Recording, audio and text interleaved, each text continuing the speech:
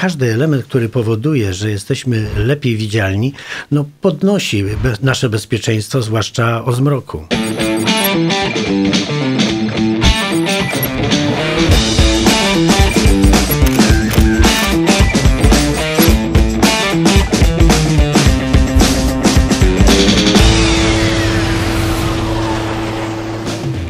Marek Jermowicz, witamy w Barwach Warmii i Mazur, programie obecnym w kilku regionalnych stacjach radiowych i telewizji Kopernik. W studiu Plusa i Kopernika Stanisław Szatkowski, dyrektor Wojewódzkiego Ośrodka Ruchu Drogowego w Olsztynie. Dzień dobry. Dzień dobry. Dzisiaj o odblaskach. Patrzę na pana kurtkę, a tutaj nie ma ani jednego odblasku. No muszę pana zaskoczyć, panie redaktorze. Wystarczy taki element i taki ruch, a już jestem po prostu e, no, wyposażony w wystarczający odblask, który gwarantuje mi bezpieczeństwo zmroku. Czyli kupowanie specjalnej odzieży, która nawet może być, nie wiem, w jakiś sposób tam bardziej kosztowna, bo jest odpo- odpowiednio tam certyfikowana odblaskami, to jest taki trochę mit? Nie, ja obserwuję, zresztą obserwujemy, że coraz więcej producentów wyposaża ubrania, zwłaszcza te takie trochę cieplejsze, w elementy odblaskowe, chociaż niestety obserwujemy również i takie zjawisko, że nie ma jeszcze mody na e, korzystanie z tego rodzaju e, kurtek czy elementów. Jak to mówi młodzież, to jest jeszcze mało trendy. A jeżeli chodzi o takie elementy, które można A doczepić? jeśli chodzi o tego rodzaju elementy, czy też inną formę odblasku, w każdym razie każdy element, który powoduje, że jesteśmy lepiej widzialni, no podnosi nasze bezpieczeństwo, zwłaszcza o zmroku. Ja pamiętam, że e, dawno temu, w latach 80., plecaki, tornistry, tak, one Mhm. w zasadzie zawsze były wyposażone w takie elementy brzydkie, kwadratowe, ale odblaskowe. Teraz nie jest to jakby stałym elementem. Każdy powinien chyba zadbać o siebie sam. Czy jeżeli to jest plecak dziecka, to tam warto by coś takiego po prostu doczepić. Zdecydowanie tak, tym bardziej, że w tej chwili e, ustawodawca nałożył na nas obowiązek posiadania elementów odblaskowych e, wtedy, kiedy poruszamy się poza obszarem zabudowanym i od z- zmroku do świtu.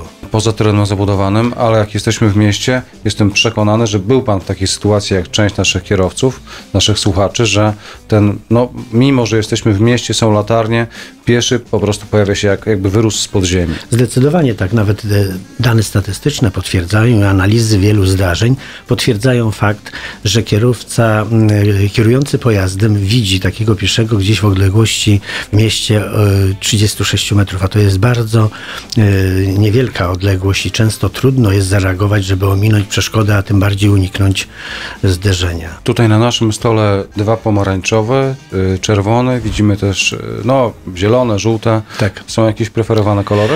No na ogół e, Jeżeli żółte. ludzkie oko, na, tak. Na, Mhm. na ogół żółte, bo te dają najskuteczniejszy refleks, e, ale każda forma odblasku, a zwłaszcza jeśli to jest certyfikowane za testem i tak dalej, kiedy spełnia swoją, e, swoje wymagania mm, producenckie i co najważniejsze, jest stosowana w odpowiednim miejscu, a więc najlepiej, czy to na kończynach dolnych czy na kończynach y, górnych, bo proszę sobie wyobrazić, że na przykład jeżeli mamy taki odblask na e, ręku i poruszamy w trakcie y, No, idziemy, więc tak, ruszamy poruszamy ręką. tą ręką, to on jest dodatkowo, Aha. y, dodatkowo widoczny.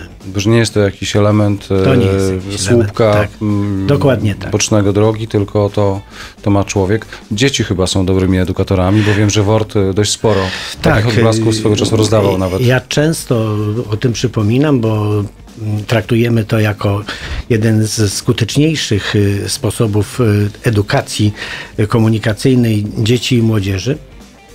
My, ja nie mówię rozdajemy, my po prostu informujemy i wyposażamy tego rodzaju elementy odblaskowe bardzo dużo dzieci, czy to bezpośrednio, czy za naszym pośrednictwem poprzez y, szkoły na przykład, czy przedszkola. I bardzo sobie cenię y, informacje, które, y, praktyczne informacje, które do nas docierają, że dzieci są wyjątkowo wdzięcznym odbiorcą tych uwag.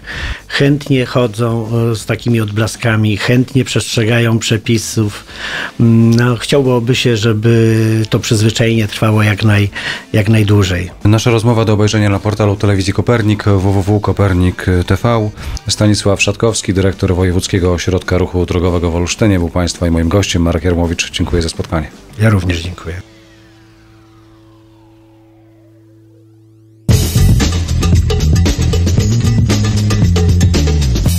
Telewizja Kopernik. Kopernik.tv